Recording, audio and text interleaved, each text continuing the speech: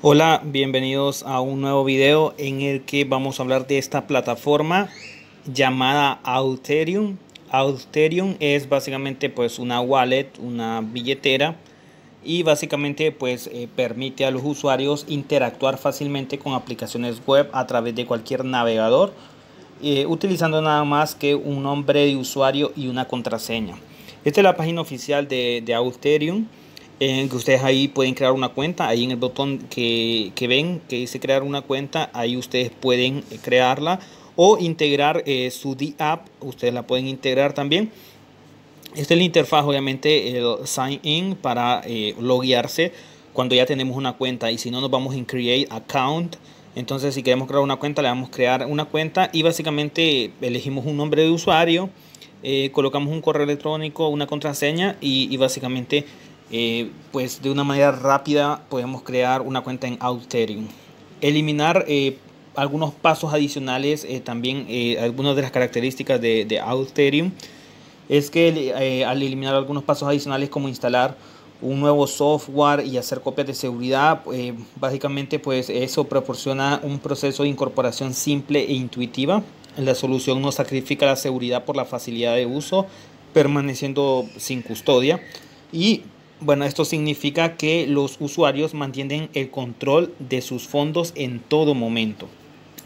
Ahí ustedes ven que ahí, ahí podemos crear la, cuenta de Autherium. Y básicamente, obviamente en Create Account eh, seleccionamos un nombre de usuario. Eh, básicamente creamos un nombre de usuario, le damos continuar y después creamos una contraseña o, o los pide el correo. Si ya estamos logueados, simplemente introducimos el email eh, o, colocamos el, usuario y eh, el password, la contraseña. Vamos a regresar a la página principal de Alterium. Y como les decía, esto funciona también obviamente que nos permite pues almacenar diferentes tipos de activos digitales. Eh, la página está en inglés, pero la vamos a traducir para entender un poco más de, de la aplicación, de la plataforma. Aquí, como les decía, una de las principales ventajas es sin descargas, eh, sin frases iniciales, simplemente pues eh, la mejor experiencia web.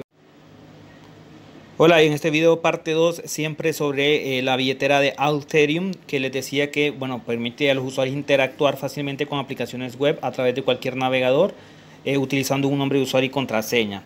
La cartera es compatible básicamente con la mayoría de los activos basados en Ethereum, junto con los tokens no fungibles o los NFTs como los conocemos. Eh, aquí ustedes miran un poco la, eh, la parte de la interfaz. Eh, también aquí la parte de seguridad creado por los expertos de, en seguridad de blockchain para mantener sus activos seguros. Usted y solo usted puede acceder a sus fondos. pueden agregar cuentas de recuperación en caso de que pierda el acceso a su cuenta. Eh, siempre sobre la cartera de, de se basa en contratos inteligentes, lo que básicamente le permite al usuario asegurar sus fondos con facilidad con, eh, con, claves escalonadas que interactúan en el contrato dependiendo de sus niveles de permiso y, y certificaciones. Es una billetera muy segura, eh, como les digo, que ustedes la pueden utilizar principalmente para lo que es eh, pues activos basados en Ethereum eh, junto con los tokens no fungibles eh, conocidos como NFTs. Los usuarios tienen el control eh, de sus propias claves, pero en su lugar de administrar una frase semilla, que una frase semilla viene siendo como una frase clave, una frase de seguridad, pueden iniciar sesión con su nombre de usuario y contraseña y comenzar a usar sus D-Apps sin necesidad de descarga y sin tarifas de transacción. Como les decía, eh, aquí les menciona, ustedes tienen el control, pueden acceder a sus activos, eh, cada cuenta es 100% sin custodia, lo que permite eh, a ustedes como usuarios acceder únicamente ustedes a sus fondos y estás a salvo incluso si los servidores de Ethereum se ven comprometidos. Puedes administrar tu billetera, acceder a tus tokens coleccionables o, o los activos digitales como los NFTs y últimas transacciones en cualquier momento y en cualquier dispositivo. Ahí ustedes pueden ver la, la, eh, interfaz, obviamente para web, eh, para una computadora y para obviamente eh, en, móvil. Y ahí, por ejemplo, ahí, ahí ustedes miran la interfaz, cuánto tiene en activos, en, monedas. Y ahí les mencionan mis coleccionables y ahí aparecen algunos NFTs. sin embargo, no hay forma de registrar una clave privada una clave privada encriptada en el contrato, excepto al crear una cuenta, por lo que no es posible importar una clave privada existente a, a Autherium, siendo necesario crear una nueva cuenta. Ese sería el único punto como negativo, como les decía, no hay forma de registrar una clave privada encriptada en el contrato y como les decía, excepto al crear una cuenta, por lo que eh, no es posible que nosotros importemos de manera externa una clave privada existente a Ethereum, siendo necesario crear una nueva cuenta para eso. Eh, lo que sí podemos, como les decía, es agregar obviamente nuestras DApp. Podemos integrar directamente con, a, con o, o, usar una biblioteca web 3 favorita. Eh, puede consultar la documentación, ahí les aparece la documentación, ustedes pueden consultar, aquí también hay artículos eh, en la que ustedes pueden ver artículos sobre todo lo que refiere a Ethereum. En esta parte ya les mostré cómo crear una cuenta, solo creando, seleccionando o asignando un número de un nombre de usuario, un correo electrónico, una contraseña. Y aquí les muestra eh, una parte de documentación de cómo ustedes pueden eh, integrar su DApp a, a, lo que es Autherium. Aquí obviamente la documentación les va a aparecer en inglés. Ustedes lo traducen y de esta manera ustedes pueden consultar la documentación.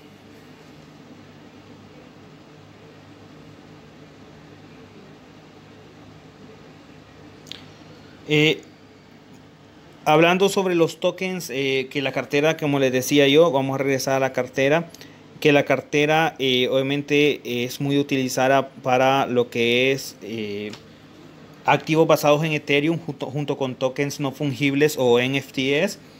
el token predeterminado, dentro, dentro de los tokens, el predeterminado es el, el DAI, básicamente para aprovechar la familiaridad de las denominaciones en dólares americanos un usuario puede incluso elegir usar DAI por tarifas, eh, por tarifas para que nunca que, tenga que usar eh, Ether para pagos de FIB o de, o de comisión, como le quieran llamar.